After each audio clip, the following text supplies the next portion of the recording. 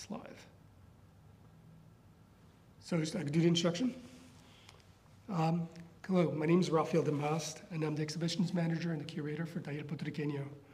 Uh, I want to welcome you to Taller, to Taller Puertorriqueño. Um, this is the, the Lorenzo Homar Gallery, um, located in the Corazon Cultural del Barrio Latino Center. Uh, this event is being recorded and will be posted on Taller's website. Um, if you do not want to be, well, we're not doing Zoom, so you don't have to worry about that coming out in the recording. But I just want to uh, just acknowledge this, the help from the staff. Um, Dominic Moret, who's helping me with, um, with the recording, and, and, John, and Joshua Mallory, who's a former Taller alum student, who's actually right now running his own recording studio, who's helping out with this introduction. Um, Okay, now our next event is going to be, if you're interested, is going to be the um, our, our, winter fundraiser Parranda. You can go to Taller's website to learn more. But I don't want to take any more time. Um, this is, we have this wonderful exhibition called Another World Exists. Um, my guest, this is this artist talk with Marina Gutierrez. Uh, Marina Gutierrez is an artist who combines community-based work, public and studio arts. She was also the director of Cooper Union's Saturday program for nearly four decades. Uh, serving over 10,000 New York City people, encouraging many to enter the arts. She also exhibited widely and in, in thousands of uh, and pivotal exhibitions such as Caribbean Crossroads of the World at the Queens Museum in New York City, uh, Factory at Parc de Villette in Paris, at El Museo del Barrio in New York City and created a solo installation at Project Row Houses, Houston, Texas. She's the recipient of Joan Mitchell um, New York Fine Arts and Mid-Atlantic Fellowships, the LMCC's Swing Space, the Governor's Islands Residency, and two New York City's Art Commission Design Awards for public projects in East Harlem, the Burgos Center, and Prospect Park Imagination Playground. Gutierrez is also the co-author of Art, Vision, Voice, Cultural Conversation, and Community, published in 2005 by Columbia College Maryland Institute of Art. Um, so without any minute further ado, I'd like to introduce you to Marina Gutierrez. Hi, everybody. Thank you for joining us. Uh, I wish we could be in person, but at least we're in virtual. So this is great. I'm so excited to be back at the Taller. I showed here a long time ago. And this place has grown and flourished, and it's a wonderful element to the community. It's, it's a cultural living, you know, icon. Yes, it is. Thank you for coming here and joining us. I also want, before we start, um, I do, there's some things which I want to talk to you about what we're about the exhibition. We know that many people haven't had the opportunity to come see the exhibition, which I'm really very excited about. So we did pre-record some parts um, of the show, giving you an, give, so giving you, to, to, give you an idea. And so there, there we're going to be going to be we're going to be broadcasting that. Then we're going to be following with a Q and A at about 1:45. Um, but before that, I'm also, but I think it's really very important that before that we start off, we talk about the title.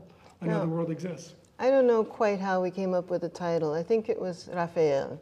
We had conversations, and you got suddenly came to this title, but I was very happy and excited about the title. You know, Another World Exists because the slogan, Another World is Possible, is um, a call for social justice, uh, a critical call, but also a hopeful call internationally. And two of my favorite writers and thinkers have used it. One is Noam Chomsky, and one is Arundhati Roy, who has a great quote. Uh, I'm going to read just so I don't stumble. So she says, Another world is not only possible, she is on her way. And on a quiet day, I can hear her breathing. So the idea of hope coming, living with us, even though a lot of the work here is critical and some of the subjects might be challenging and sorrowful, that hopefully it's overall hopeful. Yeah, that's I think it's probably why when we were having our conversation looking at your work, that's um, that we came to that title. Because even though um, there was some critical thought, I always thought there was something very um, positive, and actually most importantly, actually full of agency. And that's you know so there's and we will talk about it maybe as, as we go along with the video. I do want to say that um, we would love to hear, get your feedback and your impressions about the work and about the conversations. Feel free to, uh, to leave your comments in the chat box. Um, later on in the conversation, we will, we would like to get back to it and hopefully answer some of your questions. Um, so I think this is, a, good- this is a good time to start with the videos. Well, we were going to talk about the beginnings of the work. And people ask, how did you become an artist? And that's what, of course, Raphael asked me. Oh, yes. And my answer is that it began as a child in probably play and making things with your hands, uh, creating your own toys, changing the, you know, the, the yard around if there's a yard or the beach around if there's a beach, and building things and structures, which maybe references the agency that we're not passive in the world, but we can actually change the world and build and create our world. Yeah, that makes it perfect. Yes, we were talking about building and, and building and playing, and, and, and and you were in, in playing something something you've you've off, you've said a lot, you've talked about in some of your work in the way that it doesn't it, it isn't something that's always constant that it is planned, but it but it does it does kind of emerge in the pro, in part of the process. And, and the first video clip that we're going to go through is uh, Room for Recollection, right. which it's an older piece, 2000, and it involves sort of construction and elements of play. That's right. So Dominic.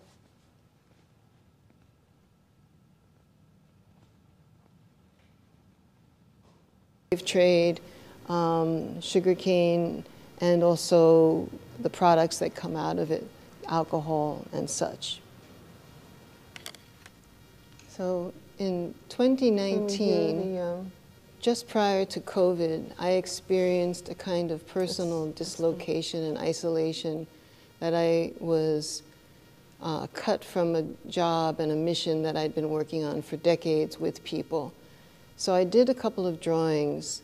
Um, COVID started, and then we really were isolated and couldn't visit in the way that we might have if it hadn't happened. So I did drawings of people that I had worked with, coworkers, friends, people that I missed. And I did these two drawings. Both of them are called We in Water 1 and 2. And I started with this one. So that's me. My feet are in water. I have on a Vejigante style mask over my face because years ago I had a dream that I was a Vejigante. It's a, a carnival mask that comes from Puerto Rico in this case. It's always male. Mine was female, so it's pink.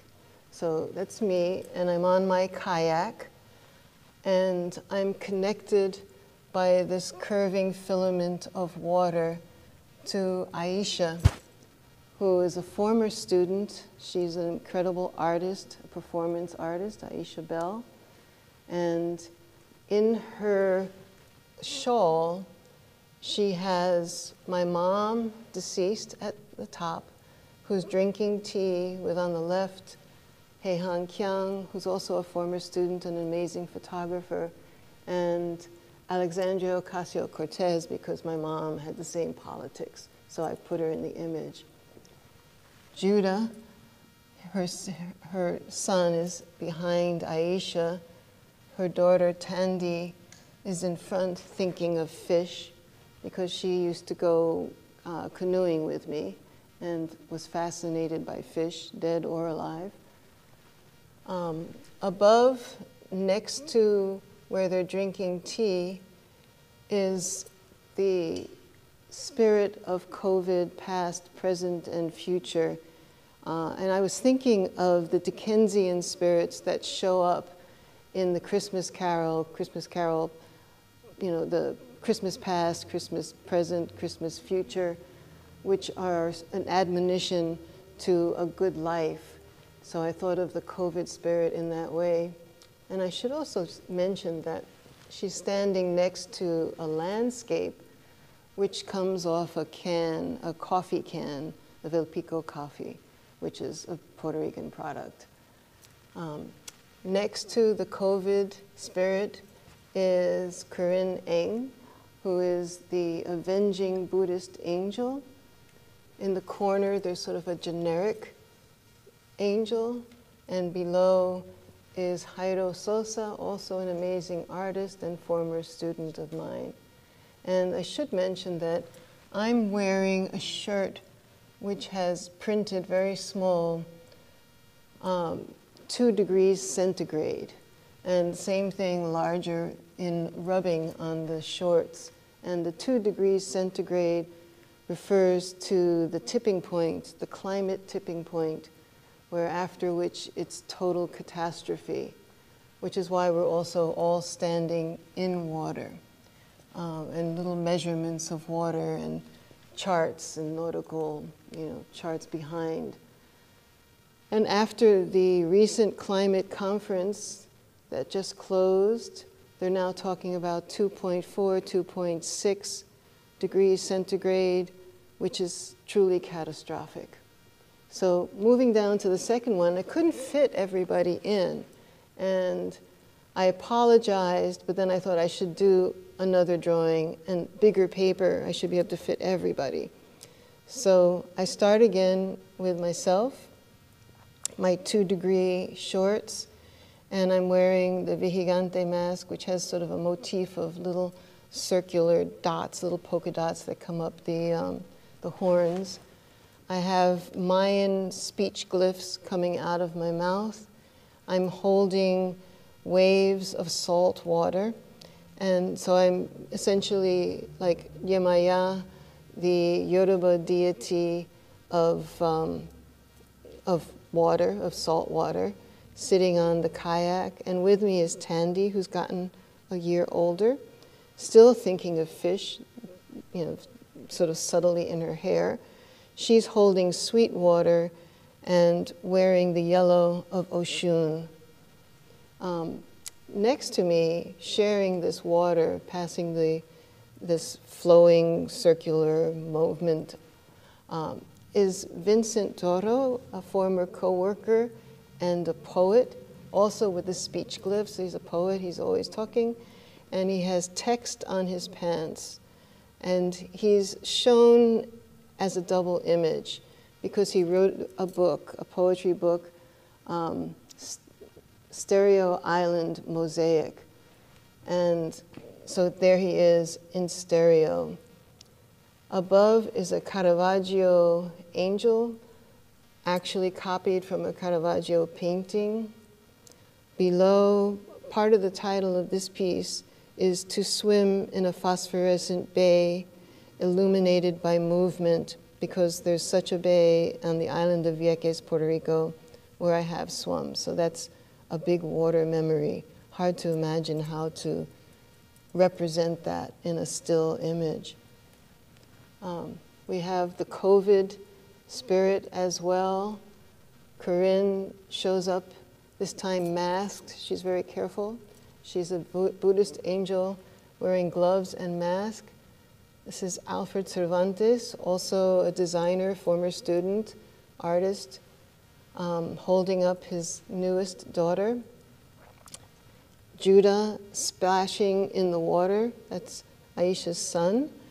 And then two figures here, Nora Rodriguez Valles, and again Aisha Bell. And in this case, I was sure about the protocol one would use because this is an image of her, Nora, doing a performance uh, Tierra Libre in Puerto Rico. I did it from a photograph of one of her um, stations. She goes to different parts of the island and meditates on a future uh, freedom. And this one was from a memory of Aisha doing a performance where she washed herself in bluing, doing these ablutions to erase the stains of racism. Um, and I think the energy that one gets from this drawing has to do with these two artists doing their performance, which is why I go into the detail of mentioning it. Um, I then decided for this exhibition to attempt to translate this into a sculptural installation.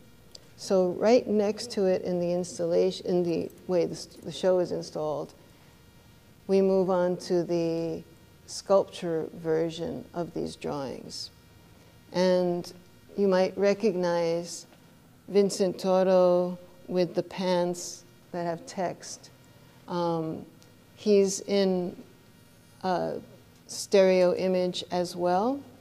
So he's speaking languages um, modern and ancient. This is presuming sort of this ancient reference.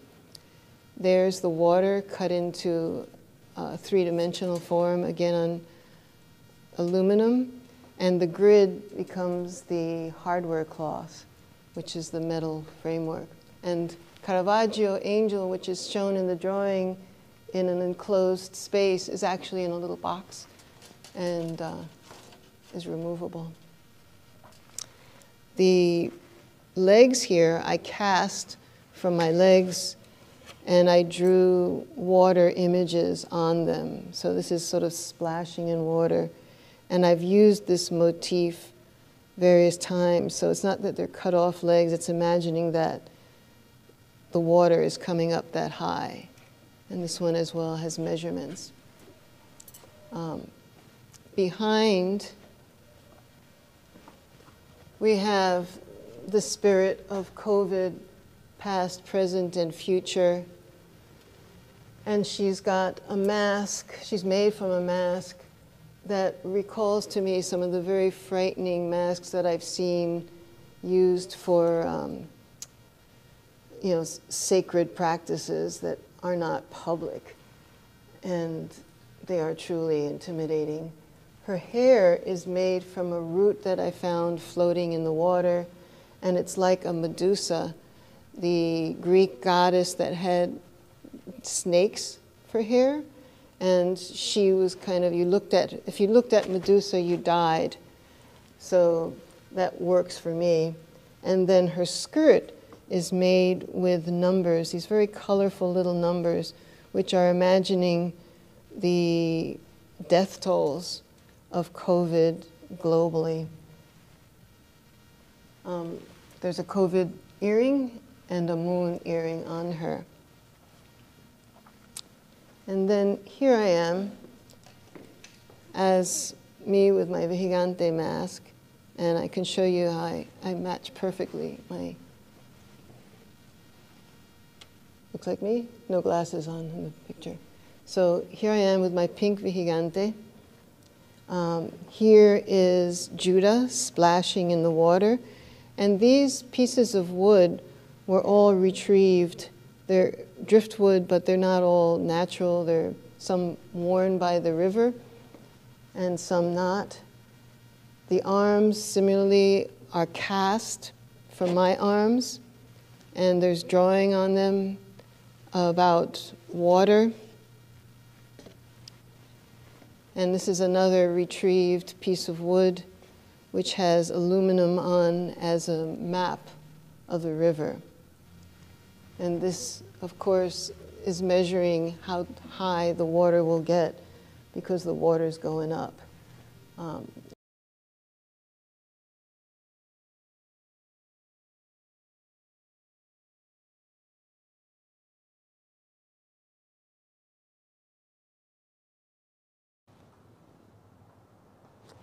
So, are we live again?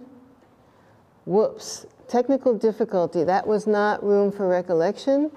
That was a current drawing, um, 2021, and one, and the installation version of it. I hope it didn't last too long in, in the explanation. The other clips are a little bit shorter, and we're going to go through them.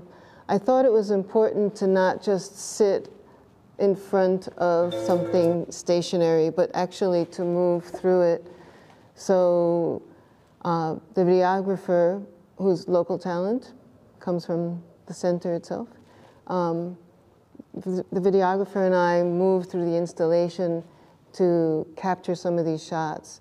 So um, in a moment, we're going to go to Room for Recollection, which is the older piece.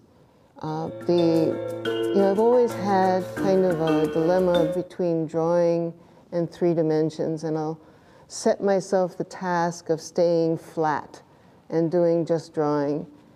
And I'll do it for a while, but at some point I just cannot, you know, resist making something with the hands, going into three dimensions, puncturing the paper, whatever it may be. So I guess in a way I feel more comfortable in that three dimensionality, uh, in, in the physicality of the hand, in you know, the use of craft, uh, in using contemporary materials, materials from the hardware store, um, recycled materials, whatever it may be, to create what might in other cases be traditional things. So are we good to go for the next? So the next piece we're going to see is Room for Recollection, hopefully.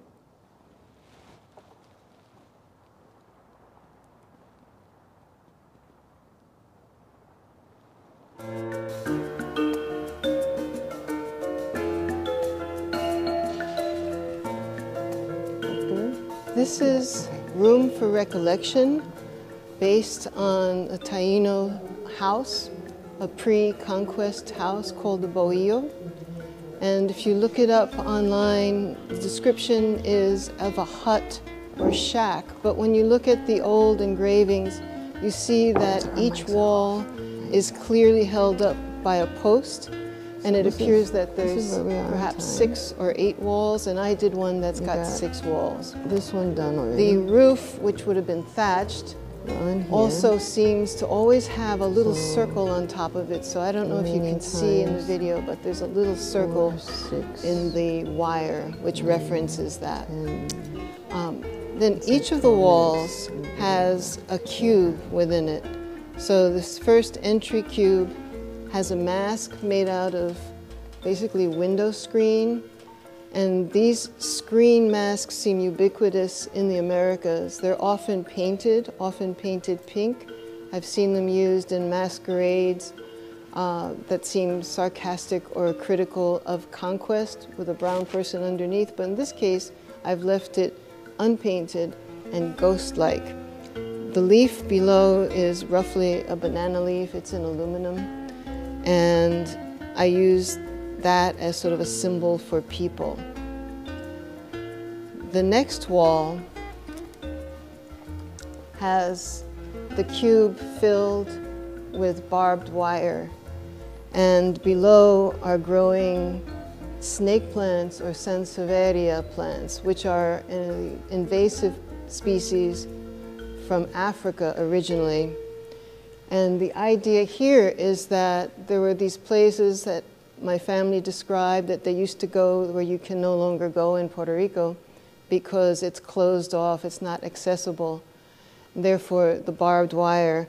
But also the snake plants, when they grow very densely together, they can be used as fences. So these are fence. The one next to it has, instead of a cube, a little house, like a doll house with actual doll house furniture in it. Uh, below are plantains, and there's a famous painting by Ramon Frade called Pan Nuestro, Our Daily Bread. And plantains were the staple of the countryside so there's the painting where he's walking with a big hand of bananas over his shoulder. And this is the reference to that, the house and the Pan Nuestro plantains. Here on the adjacent wall, this cube is filled with palm leaf. You used to be able to take things back on the plane in the way you can't now. And then below, palm leaves rendered in aluminum.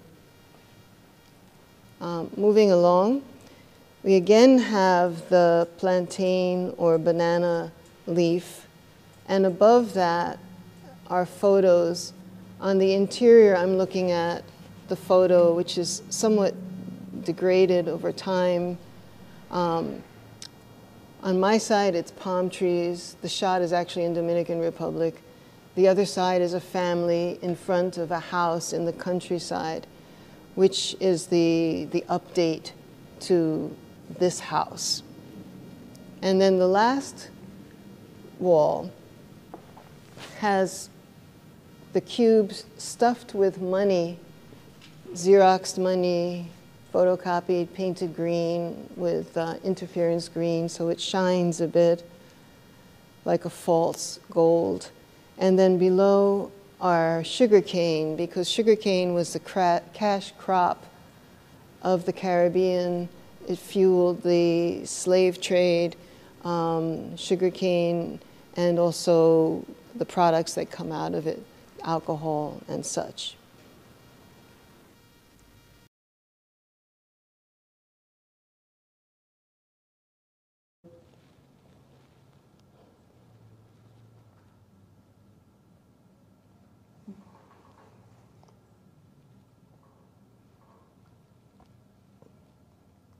Well, I just want to, I think with a hard cut, this is, well, this is room for recollection. Yes. You got to it. Um, and I, and I love this piece, and when, and I definitely wanted to bring some of your installations because I think that's something that you're known for. Um, and I feel like, you know, you're an artist, you know, who's been working in your field for over, you know, over th- more than four decades, and um, has, has a tremendous body of work in many different materials. And I feel that it's part of the oeuvre, these installations, and they have a lot of details. And when we were talking about the idea of play, and, um, and I think some of these elements that we see kind of manifesting, because not only did you, did you create the entire structure, you go outside of the stores and you, and you see things, you see things that, that, that caught your attention, and then you somehow bring it into your work. Maybe you can tell me, talk, we can talk a little bit about those details. Well, I think, you know, the, the idea basically drives the material. So I have an idea. I wanted to represent home um, with the plantains, you know, the daily bread, pan nuestro, and that came together to a very literal that, that you see the plantains and you see the little house, the little casita. Um, so, I mean, it's similar to the toys, it links in with play. I'm familiar with these things. I brought them back as an adult, as an artist, to speak to this issue of playing house and living the house. Um, the, the materiality of it comes from the intention, you know, so that it may be poetic, but it's also kind of a conceptual structure that you want to have certain information. I, I trim it down, hopefully, to read according to what my intentions are. So that's where that comes from. You know, that's how those materials are selected. And I walk around picking things up. Um, I walked around, I, I think I picked up the, the leaf, the big palm leaf that's in that cube. I brought it back on a plane. I didn't have a plan for it, but how could you pass up a palm leaf? You know, I don't know if you can do it anymore, but those things, you know, you, you know, you just, it's a way of living, and then you use the elements of the life in what the conversation is. And this is an installation, but it's really a sculpture. It sticks all together, it's not separate. And I think this really, I, I just said before that it's, I always am challenged to stay drawing only in two dimensions. But I think of the sculpture as actually drawing. And I think this one is very clearly drawing, you know, because of the linear quality of the hardware cloth, that mesh that creates the walls, because of the way the images are seen one through the next, uh, kind of transparency. It's, it's a way of drawing in three dimensions. But I conceive of my work as drawing. Right. And part of the work is also this, um, is that you allow people to walk into the piece. And, and therefore, in my, in my perspective as a person maybe who's looking at it as a, one, at once you could be an observer watching someone become part of the piece because, because they're, they're actually in, um, they're engaging and being enmeshed by it, and then becoming a participant and, and agent of the piece.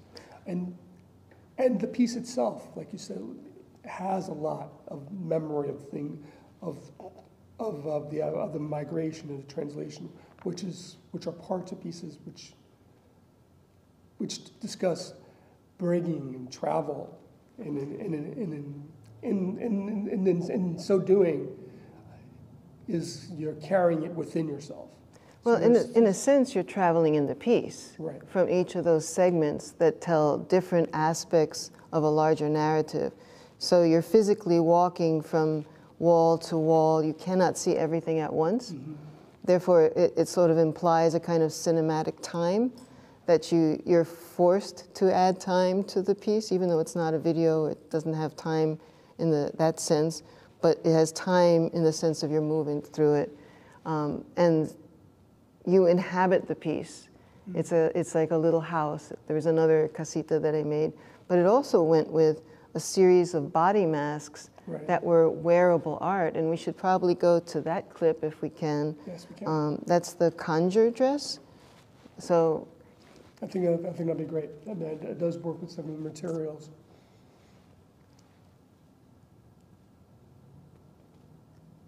are we going to the conjure dress?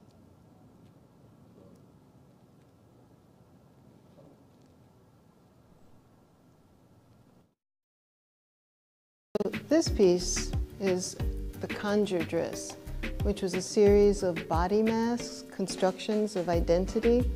And similarly to the Room for Recollection, I had pieces that you could either inhabit, walk in, or put on. And this is a wearable piece of art. So I begin with a cast of my face. Uh, on top of it is copper, hammered copper repoussé. So it's all closed off. And this is the one mask that you can't see out of. So it questions remembering or inheriting memories. The skirt is made of uh, woven uh, steel wire with lace flowers in the steel wire. Uh, these elements are cut from old cans, that's copper piece, but these are old tropical fruit cans. And the reason they're there is because, I mean, pears are not tropical, but the others are. I grew up in New York City. I'm an urban person. I wouldn't know a guanábana if it bit me on the nose. So I just know it from the fruit cans. Uh, here we have other little embedded images, domestic images and a thorn, more domestic images in copper, a little baby, a little corn. But then if you see the interior, you can't look out. And this has to do with a sense of geographic and cultural displacement. It begs performance, and since I'm a shy performer, there's a video which is streaming on the Taller site, which is my virtual performance. So that's there.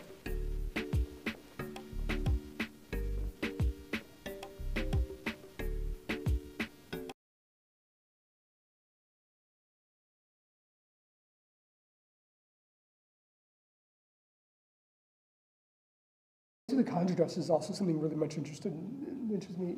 First, you're still working again with the wire mesh. Would you, would you, all- you call it a hardware cloth?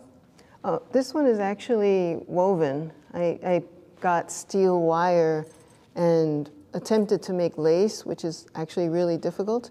So I just made it almost like a, a hurricane fence, just a simple twist, and inset lace roses into it. So it's not hardware cloth. That's why it's more flowy and more mm-hmm. flexible. And then it has heavier gauge wire that creates the bodice.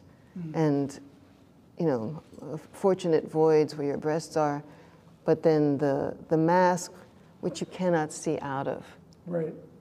I feel like one thing that, you know, this, when you start looking at a dress, it's always something that you, that, you know, in a previous conversation, you said that resonates. It's about poetry and translation. And I feel, even though there's, there's something, there's, there's a strong intentionality in, in these kinds of dresses, talking about the, um, about femininity and, and, and women's role, but there's, all, but there's, but there's, I think that it's taking from the idea of the way that you're using a poetic license and in, and in translating these elements in order to carry, in, in order to get your message, uh, get to get your message across. Something. Well, it's, like it's that. almost literal. I mean, again, you know, you, this is wearable art, and I have to say that at one point, uh, the wonderful artist Antonio Martorell put it on, and he's a man, and he's much bigger than me, but he managed to get it on, and he performed it beautifully. I perform it on the video. I'm a less extravagant performer, but when you put this on, you can't see, so you have to imagine these things. In the same way that um, one might inherit memories, I've heard stories of you know homeland, um, places that I did not experience firsthand, but that I heard recounted to me by family, and that's a lot of what I'm thinking about here. You cannot see it, you're not experiencing it directly, but you've heard the stories. Right. But um, yeah, and, and like a lot of you do, even though they're, they're representational of an idea, but I think that's really also very key to my understanding as well, is thinking about the idea that there is something about its utility is being obfuscated. Like, I mean, you're talking about, going back to um, House of Recollection, you know, it's not, even though it's representational of bohío, which is supposed to keep the elements away, um, it's, you know, it's, it's, it's, um, you know, air, it's extremely permeable. Yes. And then, wh- wh- while the conjure dress, even though it's a dress, the most important element, you know, where the idea to be able to look out, Yeah. that's obfuscated. But then there's an inverse happening, and that which in the modesty aspect and what, what's supposed to be kept inside and being protected is com- almost completely invisible. There's, Yes. there's, there's maybe the corset, and you can talk about it being representational, but a sense of an armor. And it's kind of, and, and it has this like, if you look carefully at it, you which is, you have a lot of detail. There are hands and writing, it's almost kind of like it's and copper repousse, and again, uh, and again, the cutout of the, the tropical fruits. As I said, I wouldn't know a guanábana if it bit me on the nose because I didn't grow, I didn't see them growing. I only bought them in juice, so in batidos.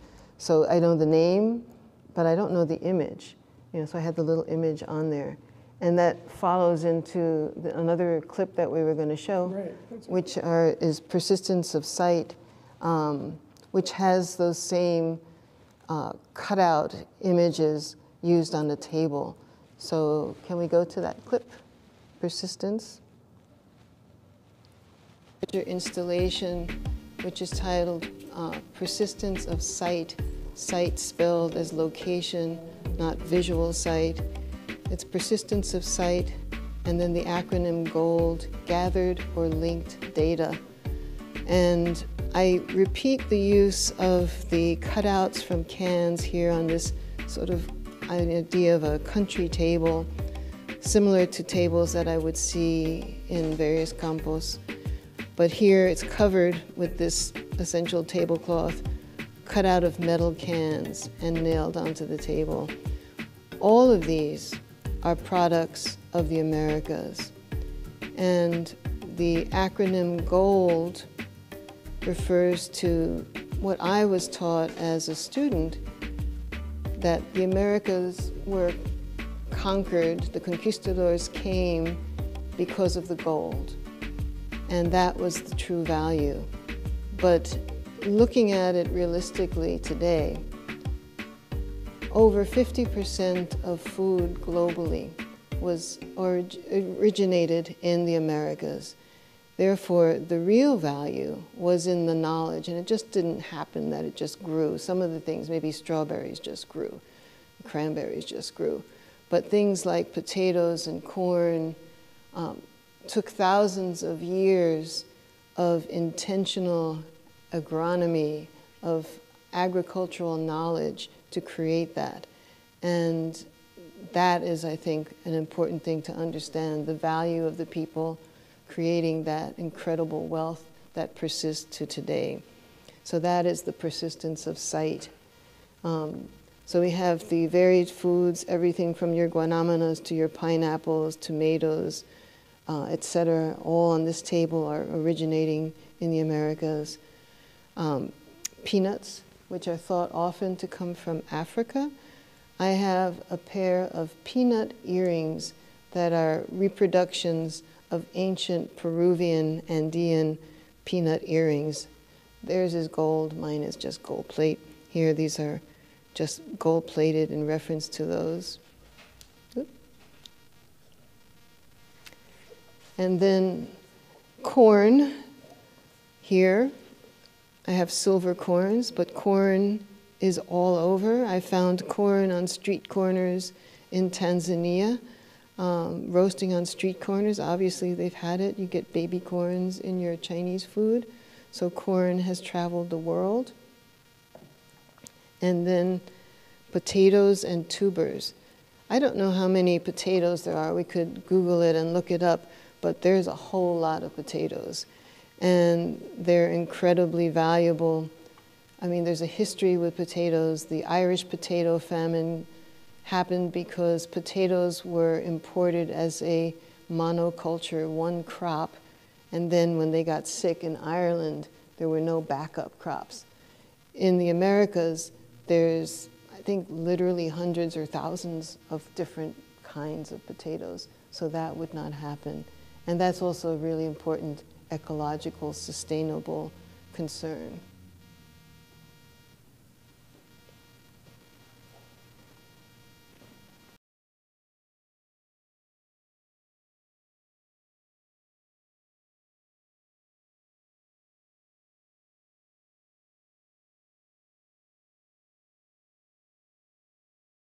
I think there were over 2,000 potatoes. Um, we have some friends from Peru who could definitely um, ed- educate us on that.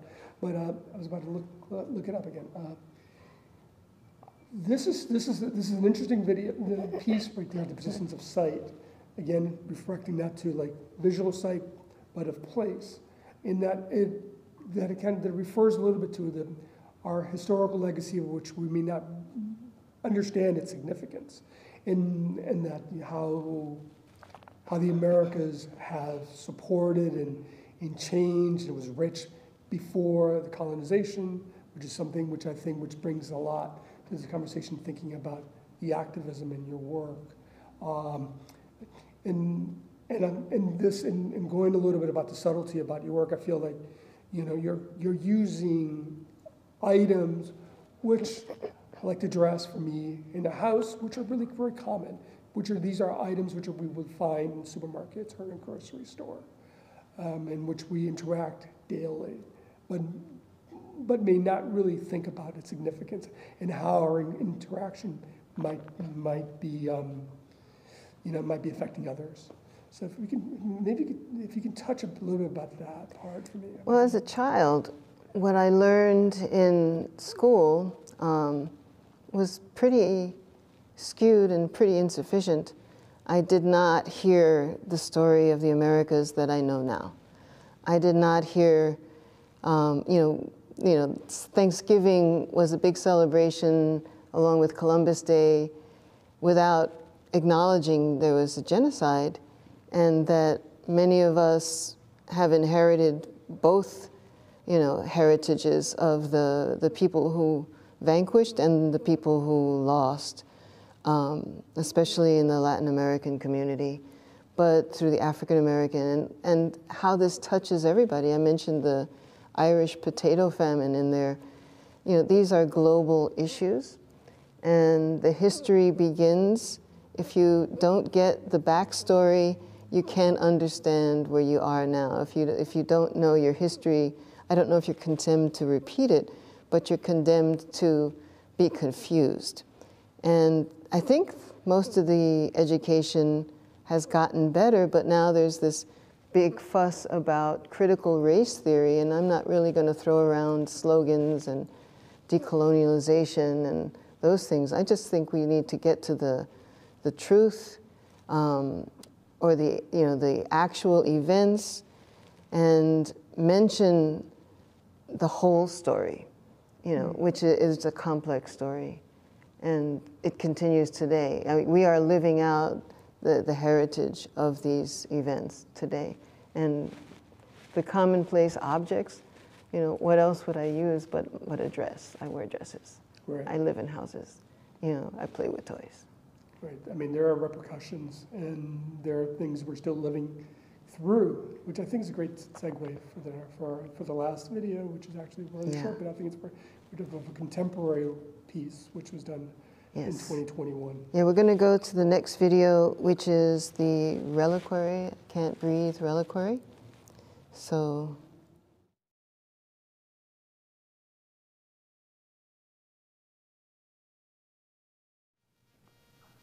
this is my second reliquary. It's lungs for Eric Garner and George Floyd.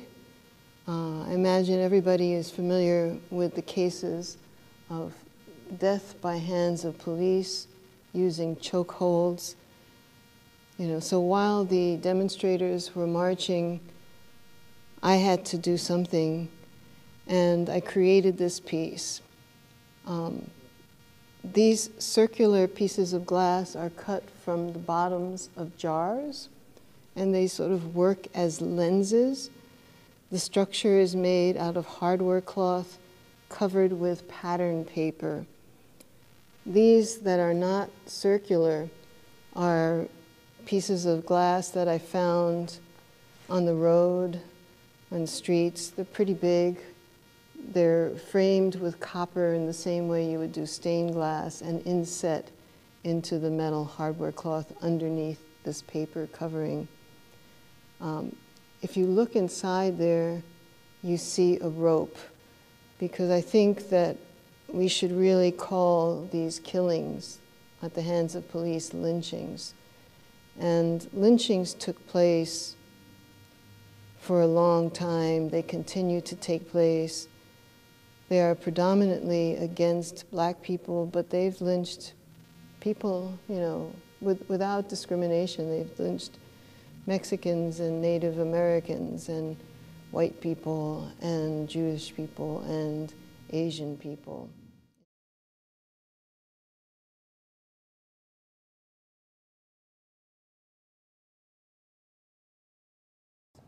Okay. Well, when I saw this piece, was, you know, it was definitely like, uh, yeah, it really, uh, really quieted me. And It's, it's, it's a really incredibly powerful piece. Um, You know, you were, It's a difficult piece, it's a Yeah. difficult subject. Um, several summers previously, they, there started to be video after video of these tragic, horrifying uh, in- interactions between police and civilians. There are so many people. I mean, I did another reliquary for Eleanor Bumpurs, which will be on the, the website. Um, you know, what do you, you know, what is the response that you can make? You know, it's ins unsupportable. It's more than you can stand. And people were marching, you know, with great hope and promise. Um, but then again, there's this pushback. It's almost, uh, it's, it's almost a replay of Reconstruction, where you get so far, and then the, the forces of Confederacy push down again. And I had this realization that what these are are lynchings. And I got that from reading a book that was written by a, a white writer. And I think that's incredibly hopeful that, you know, we as all of us together need to face these issues and concerns. And it was a painful piece to make. It really was. yeah, there's a, there's a really strong internal dynamic about the work that you're, that you're really contending. And Because I'm also thinking about, while you were doing, while you were doing I Can't Breathe, with our first video, we in water, talking about, you know, uh, isolation, not being apart, but like, like all of these, um, you know, like all of these, like, real assaults that's happened, you know, the physical assaults as well as mental assaults, they're, we're, they're, they're carried within us. And, um, and we're dealing with that. And there aren't any real, there, there, there there aren't any simple answers or simple solutions. And, and I, um, and this, and, and the way that you were just dealing, talking about, um, you know, that I can't breathe, with, with actually the physicality of the lung becoming manifest, manifesting, and then with, and then becoming literal with actually with the rope within it. The, the solutions may not be simple, but they do exist. There are things that can be done. You know, so I, I think to feel hopeless, like this is the only way it can be, you know, another world is possible. You know, that's where that slogan comes in. Right. It really could be different. It doesn't have to be that way. That is definitely true. I think, I think we- when we, when we were first talking about it, I think it's like, like, uh, first kind of, I think we must first acknowledge it and identify it, and it's something that's, that was very pointedly, you know, you, you put in your work. Um, Because you're, you, even though you're, you might be addressing, you may, you may address it, address it, sometimes directly or, you know, or indirectly. It is, it is, it is, it is a subject of the conversation, and, you know, in, in which, in which you invite the viewer to become part of, and, and and I think, in- in definitely, I think another world exists, is both kind of a description and a kind of a, kind of a verb, just to do. Hopeful incantation. Yeah. Um, I was wondering if we, if- I think might be, this might be um, good time to see if there are any questions that we can answer. Okay. Like Excuse talk me. To you a little bit, you know, just for information, we're a part of, of the exhibition, another part of exhibition the installation called In Aqua Memoriam. Um, Degree, uh, you know, two degrees of water tables. Um, And this was done in 2016. And some, and this is something where you're also talking about the ecology of water, which is another aspect of, of the work that you're, when, when you're engaging through life. in many different aspects and been, in many different permutations. But really kind of, um, you know, excites me because actually, this piece is done with aluminum foil, which you bought at a supermarket when you came here, It was a part of the installation piece. And all you have is found materials is wood and then, and then, and- Yeah. and metal. Well, behind us is the wave wall, which we sat our little kitchen table in front of, and it matches since it's both uh, silver. But the wave wall, it's really not waves that I'm making the marks of. I don't know if you recall being at a beach ever and seeing the indent in the sand, the way the car, the, the waves carve into the sand a shape that's curved, that's similar to waves. It marks the sand. And so that's where I came up with this idea. So it's remembering the waves from the way the sand is carved by them and shaped by them. And on the end of it, it has the ruler, which marks the rising water. Um, I've been doing pieces about water in Aqua in Memoriam series for quite a while, um, more than a decade. I'm not even sure how long. And the drawing, we in water, you know, we're all standing in water. I mean, it's so present. It's you know, it, you know, today we could have a flood. You know, there's some place in the world that's got a drought. You know, flood and drought is. I mean, the only thing we need is locusts. You know, it's like Right. these catastrophic changes. And meanwhile, they just finished the COP um, meeting. I don't know what they did. You know, net zero is is a fiction. You cannot balance, you know, things and make a change. You have to make a change. Um, so it's very concerning. You know, I, I, I don't know. I mean, that's where you really need another world Right. uh, because the water is rising. The water is also disappearing. You know, it's, it's like an incredible duality. There's definitely a lot happening, and I think, you know, and, and again, this piece, I think when you put a, when you, when you put the ruler next to the water, it's a question about time, because the idea of rising waters and, um, in inaction, you know. Well, I've always lived that's what it walking distance from the water. I mean, maybe a long walk, but you know, I grew up. Uh, I was born in Manhattan, and I grew up in New York City and the various boroughs. As a kid, I would ride my bike to the water. I, I see the changes in the ecology. Um, I've seen, you know, like I have pieces here that are composed with garbage from the beach. And there's a video, I think it'll be streaming as well, picking up the plastic from the beach. And I forget what year it is, but it's an older piece.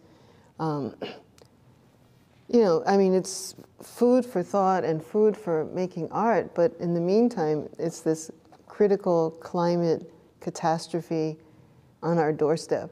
And, you know, not to be overwhelmed by it, by it, but to be energized to make some change and to do something and not to accept the, um, the status quo. Yeah, and that's, you know, that is, that's something that really very excites me about the show because I, because when you go through the exhibition, you know, there's, a, there's, there is something, you know, I feel that, that's being asked of the visitor as well, not just, not, um, it isn't, it isn't, it isn't, it isn't a conversation you're having with yourself, it's actually a conversation you're having with the public. And, and, and this is something really, I feel it's, it's tremendous and very important about, you know, about the work you've been doing. It's kind of, it's really very exciting about this piece. And um, yes, and I agree, we should, you know, we, we do have some sort of agency. Well, one, one of the things that I think, I mean, obviously, I'm not changing the government. I'm not in a position like that. You know, I do the demonstrations, I make the artwork, but I hope that the art makes issues visible.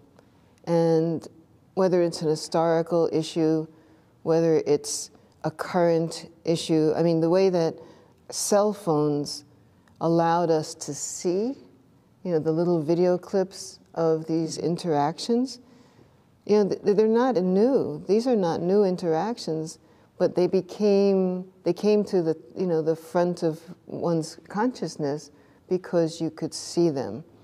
Um, and that's incredibly powerful. So I'm hoping that the artwork helps people see issues and that, you know, one may change it. It's, you know, it's also, I also hope to make the work that gives some pleasure and that you can delight in the aesthetics of it uh, and enjoy the experience and not just be depressed by rising water. Well, you do. I mean, I mean, it, it is. I find it. Uh, I find it. Even though it, you, the topics may be very strong and may want may want cause someone to want to pull their hairs out because it might seem insurmountable back there. But they're also, but you know, but you, but they're, you know, they're the way that he, that he sent out these messages, it's very beautiful, but it's also very powerful. Um, and, you, and there's something like, you know, you know, you do not want the visitor, you know, we cannot surrender. We have, we have to be, we have to be kind of strong. Um, you know, whatever, whatever, what, whatever we do counts. I, and that's, I think, I think that's something Yeah. that, that we, I think that's a good place to end. I think whatever you do, whatever we do in our world, and whatever we, whatever small action we do matters, because I feel that's something, when we, when we look, going back to the we and water and where you're talking about your heroes, and we, and when you, when we described it about people who've influenced your life, and, and, and, uh, and I think we kind of sort of just, just heroic odes, we were, we were calling attention to that. You know, Yeah. we, we, that, we, that this, that, that the, that these, that these individuals who've come across matter and, and, and, and have been making a difference. Well, several of those individuals in that drawing I discussed, I mentioned, were my former students. And I think, I believe I helped them gain some agency in making art and making the world a better place. Yes. Well, I think this might be a good place for us to end. And, um, you know, I would say thank you again, Marina Gutierrez, for bringing this show together. Um, bringing to Taller Puertorriqueño. I'll cough my way out. Uh, we feel better, man. Hopefully the water will help. Uh, Well, again, I would like to say that um, Marina Gutierrez, Another World Exists will be on view through January 14th, uh, 2022. Um, Again, the Taller Puertorriqueño is open. Please visit our website um, for more information about visiting hours. Uh, um, If there are any um, special requests about coming to the show, please let us know. We're, we're here to assist you. I want to thank our sponsors um, that that helped to make this exhibition possible. Uh, This exhibition and this program is made possible through the generous funding from the Andy Warhol Foundation the for the Visual Arts, the Andrew W. Mellon Foundation, the Philadelphia, the Philadelphia Foundation, the National Endowment for the Arts, PNC Arts Alive, and the Joseph Robert Foundation. And uh, Dominic, if you can just go to the other screen. Um, this is an exhibition about, about Taller Puertorriqueña, and I will like say just one more last, say, I just want to thank again everyone who's helped show possible, Dominic Moret, and, and, and, um, and Joseph here with our, with our show. And and in January, and the end of December, December third, is our fundraising, which will be the, Dominic, if you can show that last slide. Um, you can visit Puerto Rican for more information about the parranda. Um, this is the parranda, it's, we're celebrating about our twentieth year. Um, it's a very special occasion for your Day of Puerto Rican. Again, thank you for visiting us and be attending this, this artist talk. Uh, we will be posting this online, so if you wish to revisit it, please do so. Thanks again.